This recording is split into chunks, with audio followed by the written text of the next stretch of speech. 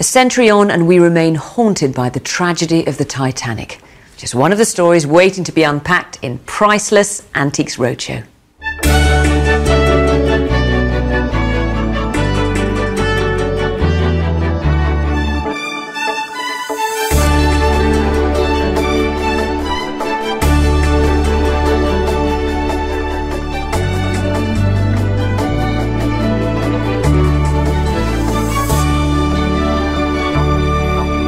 We hear a few bizarre tales on the roadshow, which sometimes take us all by surprise. Today, Bunny Campione remembers the curious tale of one long suffering teddy. Yes, that was done by my dog when it was a puppy, so. What? Bought a teddy bear for the dog? We explore the enduring appeal of the story of the Titanic. Why is it that the Titanic uh, means so much to us? It's folklore. It's almost a kind of macabre fairy tale to us now. And Lars Tharp recalls the day he thought he was seeing double. Usually they say try not to have two interviewees. So who does this belong to? Me. Over the years, our specialists have handled all manner of beloved items. But it's rare to find something as well loved as a childhood toy, many of which are handed down through families for generations. These bears and dolls often hold powerful memories for their owners, as Catherine Higgins recalls.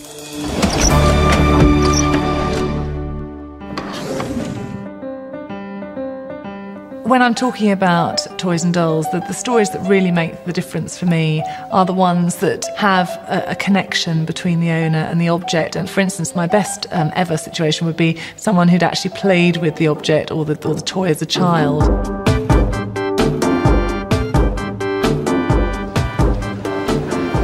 May be looking at a doll from the 1960s, but my goodness, wasn't she fashionable?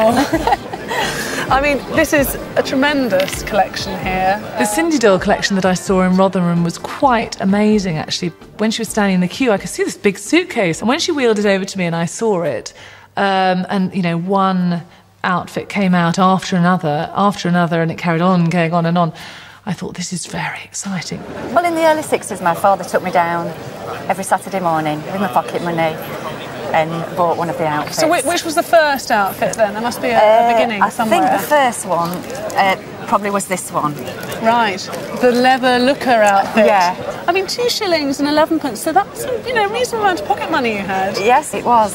Wait, These were the original outfits that she'd had as a child, and not only that, she hadn't always been given them. She'd saved her pocket money really hard, you know, to, to actually go out and buy them.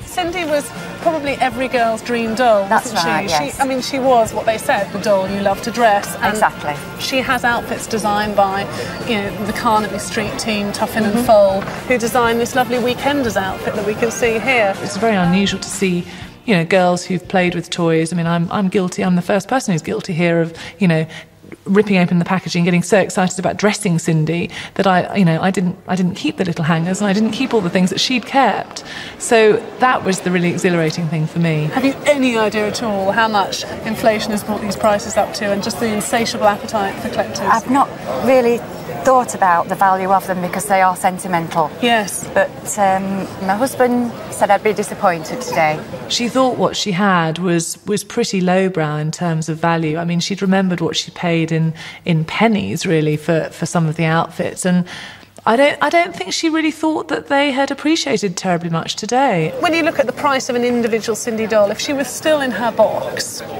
um, she could be worth as much as 225, 250 pounds, something like that. Unboxed in this condition, uh, probably around about 50 pounds, something like that. I mean, she'd kept all the packaging, but she didn't have the boxes um, for her dolls, so that was a bit naughty, really. If we do a quick tot up, you're looking at a collection that is approaching probably about a thousand pounds in value. Really? Yes, as much as a thousand Really? pounds. So tell your husband that.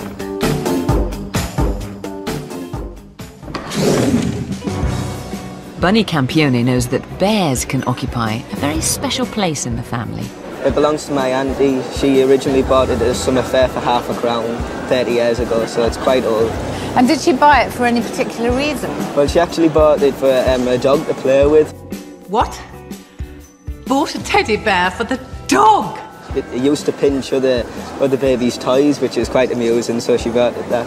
And the dog must have been the sweetest, kindest, gentlest little dog in the world because all he did was chew a little bit of a paw. And aren't you and she lucky that it only did that, yes. damage? Because this chap is a very, very important bear. He's by the firm of Steiff in Germany. The mother had um, taken the Steiff, it was Steiff, the Steiff button out of the ear. She pulled it out because she thought the dog would swallow it and choke on it. So. And that's the first time I've ever heard the dog rather than the child. Have you got any idea what he's worth? None at all. Well, I think you'll have to break it to your aunt quite softly because if he were to go into a teddy bear auction, uh, he would make in the region of between three and a half and four thousand pounds. Four thousand pounds. For the teddy bear. For a teddy bear. I mean, he just was speechless. And uh, no, the dog's obviously not going to be allowed anywhere near it again. At the other end of the spectrum are the serious collectors, and some are more surprising than others. I remember Anastasia from Carlisle so well. She was just brilliant. Well, Anastasia comes from Carlisle, and she says she's rather disappointed to hear that we're only in Carlisle for a day because she makes the point in her letter that she's uh, at school and she can only get away between 12 and 1. Would it be possible to make an appointment? Well, indeed, we did make an appointment for her to see Hilary Kay. Well, this is a, a lovely doll. Um, I mean, she's much too old to be anywhere remotely near you in, in age. Where does she come from? But it's supposed to be my great, great, great aunt. Anastasia struck me as somebody who was passionate about the dolls that she had, um, very interested in them, but really with quite a um, an adult way of, of, of, thinking about them. You know, she wasn't wanting to play with them. She was very much looking at them as um, objects of antiquity and, and wanting to find out about them. No, she, she had a really great attitude. The great great great aunt's father had gone on a business trip and brought that back. It was as a present for his daughter? As a present for his daughter. She had plenty of dolls that she could play with, and these were something special, and she recognised that. Quite right. You say you're careful. Mm-hmm. Very careful. All right. Especially with the t- these Especially dolls. with the dolls. Now, this one, what, does it live in its box all the time? Yes. Okay. Well, the value of that one, I would have thought, would be between about 800 and 1200 pounds. Crikey, yes, I think it is. But some owners are less attached to their toys. My most exciting teddy bear was in Northern Ireland at Mount Stewart, and um, lovely old man came in, and he had a very exciting bear, one that I had never handled. Well, he hasn't been out of a bag for 40 years, at least. You've been keeping him in a bag? I haven't been keeping him. My daughter has been kept, kept him in, in a bag. You kept it in a bag? Poor, poor bear. He's known as a teddy clown. They were produced uh, on the 28th of February, uh, 1926. They were introduced at the Leipzig Trade Fair. Yes. Now, 30,000 of them were made, and very few remain, particularly in good condition. So to have the ruff and the everything and the fur and even the, the pads didn't even have any moth holes. Fantastic. Now, have you got any idea of his worth? Well, we, some months ago, I had a, an approximate valuation. He thought it may be worth between two and three thousand pounds. So I said, well, um, put a note on it. If you were to buy him, you'd have to pay £20,000. And he had the best reaction ever. Is there a wheelchair to take me out of here? Which was wonderful. And do you know, between filming that and it going out to the public on view, it was coming up for sale in London. And so I went to the sale and I stayed behind a pillar right at the back and it went up to £20,000. I couldn't believe it. You know, that gentleman came back to one of my first roadshows with another teddy. Sadly, wasn't worth anything like as much, but it was just as precious to him. And in fact, those precious pieces we first owned can be the spur to a lifetime's collecting. In this series, we're asking our experts what first got them interested in antiques. stand by for a tantalising glimpse of one of the Roadshow's longest serving players.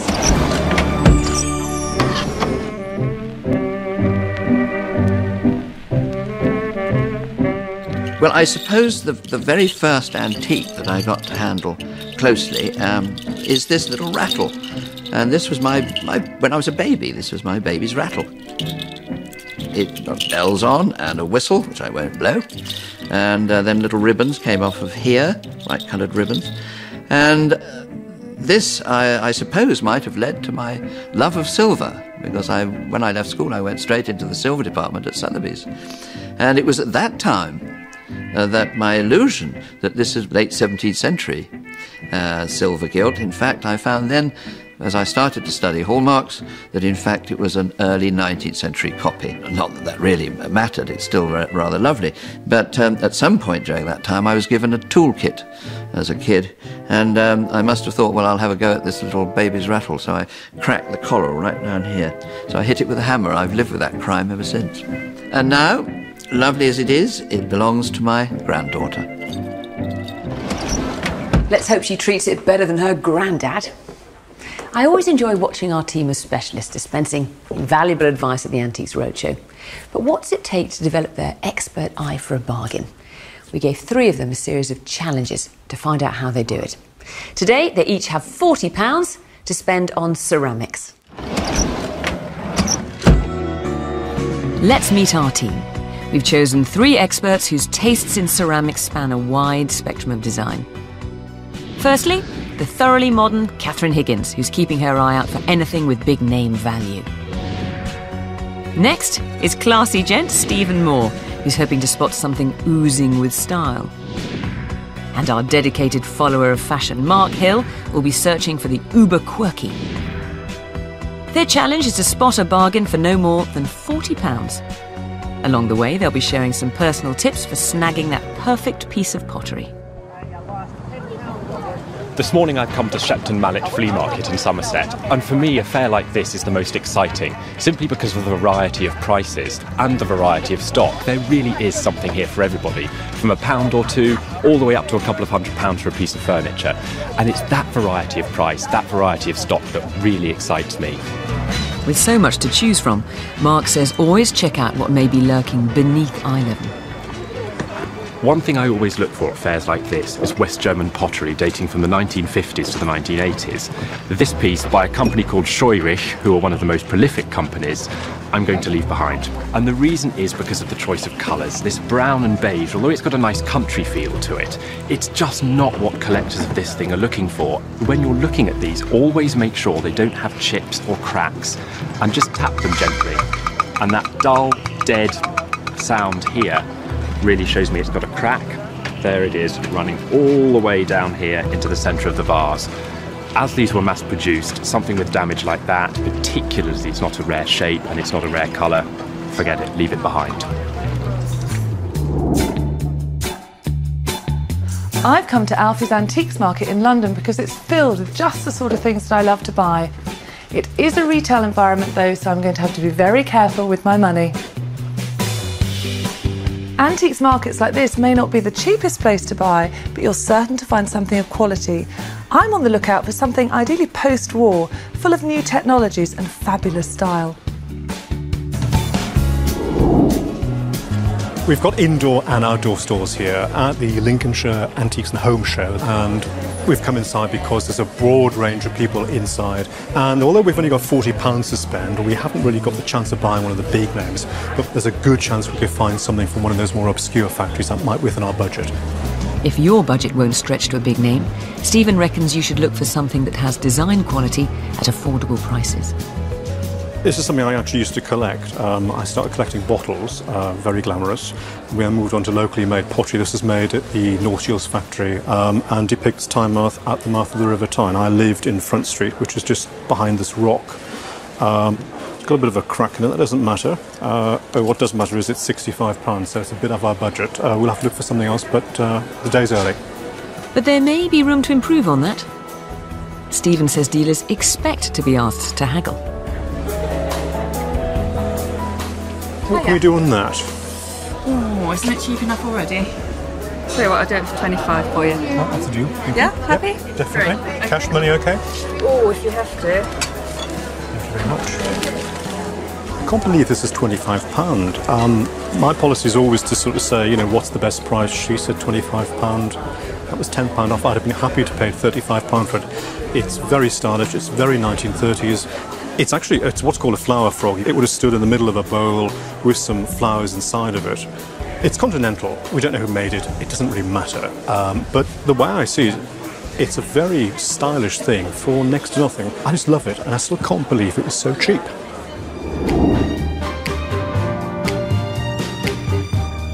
I've chosen this serving platter because it just, for me, it summarises what's brilliant about post-war design. It's by the Midwinter Pottery, and it's uh, a design in their Stylecraft range, which was launched in 1953.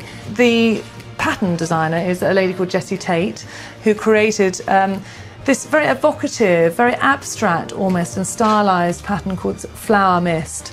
I love it because it ticks all the boxes really. It's a very good pottery. On the back, you've got very nice printed marks. It's very good condition. It's tagged at £48, and quite rightly, it probably should be. Um, but the, very kindly, the dealer has agreed that he would sell it to me for my budget, which is £40. So I'm going to be a very happy girl. A modern classic from Catherine at a great price. Mark may have spotted another, a real favourite of his 1950s fat lava pottery from West Germany. This excites me, and what's more, it's also going to excite an awful lot of collectors too. There are two features or two aspects that I'm looking at here that I think are desirable. Firstly, there's the shape. It's slightly more exciting than the plain vase I was looking at before, but it's the glaze here and the colours. During the 1960s, there was an immense style revolution. Glazes became freer, and rather than thinking about a sort of delineated pattern itself, people just enjoyed the glaze for what it was. This bright 1960s colour and this space age shape are just perfect. Can I ask how much this one is? It's twelve pound. Twelve pounds. Would you take ten, perhaps, for cash? Possibly. Eleven. Yeah. Eleven. Okay. Sounds like a good deal to me. Thank you very much. For eleven pounds, that was an absolute steal. I've seen these sell for anything between sort of forty and fifty pounds in good retro design shops. But what's more, I think that price can only appreciate. It's a really hot market right now. So, three very different buys from art specialists. Catherine was bang on budget with her Jessie Tate plate, but says confidently it's money well spent. Stephen's eye is always on style, and at that price, his find is real value. And Mark's bowled over at finding this modern classic at such a knockdown price. Canny collecting from three of our team, and I've got to say, this isn't my taste, but for £11, it was clearly a steal. Now, there are certain stories which instantly evoke huge emotion, but one name more than any continues to haunt our imaginations Titanic. We've seen quite a few pieces from the ill fated liner over the years, and recently the Antiques Roadshow visited the place where it all began Belfast, birthplace of that most majestic ship.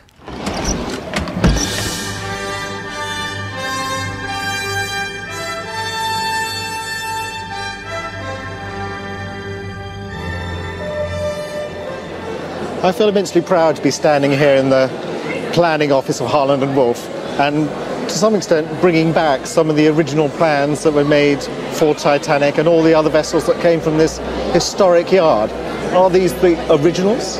Yes, they absolutely are original drawings, and the uh, the drawing uh, on top here uh, would have actually been drawn in this very office.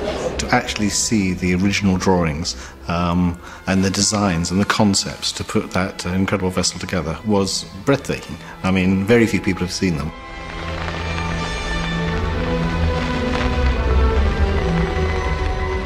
Why is it that the Titanic uh, means so much to us? There have been far worse maritime disasters, far greater loss of life. But what is it about the Titanic that captivates us all? Uh, it's, a, it's a number of things, really, I think. Perhaps the wealthy people on board, the juxtaposition between those wealthy millionaires, American millionaires, the steerage passengers. what they went through, the band playing as it as it went down. It's it's folklore. It's almost a kind of macabre fairy tale to us now. Darling Grandma and Grandpa, uh, my time is practically ended now. I shall be on my way to New York when you get this card. A few weeks. This woman came in with very poignant articles, which were letters sent from one of the musicians who went down on the Titanic. Now, who is Willie? Willie was my great uncle, and he was a bandsman on the Titanic, William Theodore Brailey. Apparently, his grandmother had begged him not to go to sea. She didn't want her, him to go. But obviously, at the age of 24, very keen to go. And he said, No, I must go. He said, Musicians always die young. I think possibly people do have a sort of a romantic vision of dying young, but I mean, there was a, it was a very heroic death. It was, and of course, the family always said that um, if he hadn't have died there, he would have died on the fields of Flanders. No, it's very sad. Yeah. His body was never found. And what I hadn't realised, and she pointed this out, was that there was no compensation. Passengers got compensation from the White Star Line, but not the musicians. So the Musicians Union published this. I don't quite know what you'd call it, but it was to sell, to get funds for the musicians' families. And here is That's- that's the Willie, him. yes. there he is. Yeah. And then at the bottom here, we've got Nearer My God to Thee. Or if on joyful wing, cleaving the sky, sun, moon, and stars forgot, upwards I fly. Still all my songs shall be Nearer my God to Thee, nearer to Thee.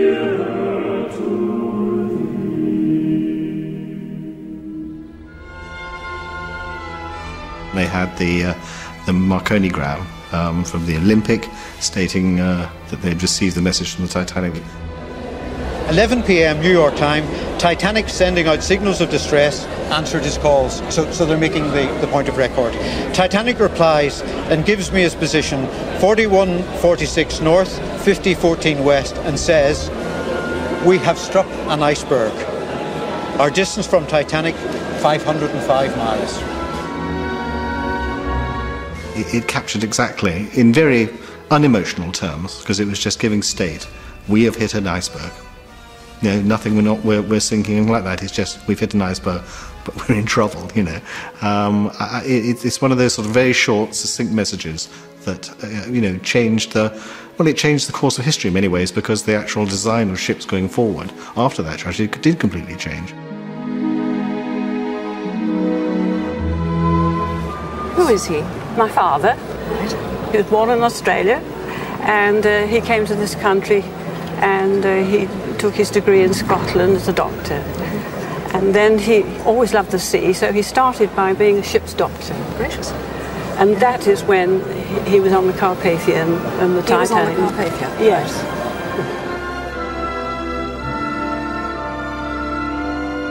Well, the Carpathia, um, of course, is is absolutely significant in the in the whole story of the Titanic. It's the ship, the RMS Carpathia, that went to the rescue of the Titanic survivors, and Captain Rostron basically sped as fast as he could. They shut down everything, all their generators, to create as much steam as possible to get there as fast as they, they, they could. It was it was a heroic endeavour to get there. In fact, they saved 750 odd people. This is the most extraordinary thing. Another This is presented to captain, officers, and crew of RMS Carpathia. There are three classes of Carpathia medal. There are the bronze medals, who were given to the general crew, silver medals, who were given to the officers, and the gold medal that was given to the captain and high ranking officers. So we have a, a number of medals in each category, of course, lots more bronze than we do gold. That is made out of 14 karat gold. Yes. And there were only 14 of them made. Oh, yes. Did you know that? I didn't know that. No. It's an extraordinarily rare thing. Uh-huh. Only the most outstanding officers received one of these uh-huh. awards. Yes. It's almost unheard of. If you think in the whole world there are 14 of these objects. The collection that Victoria looked at, perhaps one of the most emotive collections of Carpathia items that I, I've ever, ever experienced or seen, because they belong to the doctor. This was the man that dealt with all of those people that were pulled from the water. I can't imagine the job that that man had. Uh, and that group of his medal and those items are perhaps I hate to say it, the ultimate dream for a collector. In New York, in 1997, one of these medals was sold for $50,000. So that equates roughly to £30,000 now. George heavens. What I understand is that the, the owners did the most incredible thing. They donated that collection to a museum. And that was an incredible thing to do because, given the interest in that kind of object, that probably would now be worth seventy to a hundred thousand pounds at auction. That's how far things have moved.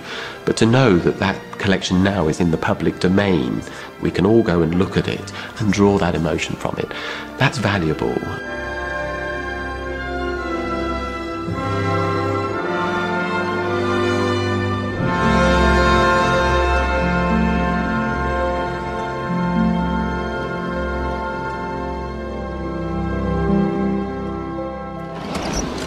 Almost a hundred years on, and the Titanic and everything associated with it still has such a strong hold on us. Finally, tonight, a memorable encounter for Lars Tharp when an impressive pile of porcelain turned up, whose ownership seemed to be in doubt. Well, the joy of doing the show is actually uh, having fun with the, the people themselves. Usually they say try not to have two interviewees. So, who does this belong to? Me. We had two ladies who owned a complete Mason's Ironstone dinner service between them. It was in my family for a long time, and then um, we didn't have much money uh, when we were newly married. And my friend here um, had a more. yeah, and a Welsh dresser to put put some of it empty, on. empty shelves. So So we split it. You split it? Yes. How much was the loan? We had a discussion about this earlier, and we're not sure, but I thought it was 35. The moot point was which of the two had got the better deal. I think one of them had been given all the chipped pieces, and the other one had been given all the good bits. Anne's always maintained that I've got the best, and she's left with a chip ones. How long have you been friends? Long time. Nearly 30 years. Yeah. So We're still friends. So there's nothing I'm going to tell you now that's going to cause a schism. No. no. In my mind, I thought, aha, well, I've got some good news uh, up my sleeve, but let's let's play along a little bit. We are about to cause an international incident here. No, no. We're not. No, no, you won't. No, we'll be fine. Okay. And there's a lovely relationship sort of being beginning to, to be formed. They're getting very jokey. They've got nothing to lose. I said, well, you know, have you any idea what it's worth? The classic roadshow line. If you sold this service as it is today, you'd probably get between three and uh, three and four thousand pounds for it. Gosh, gosh. Maybe 35 quid back.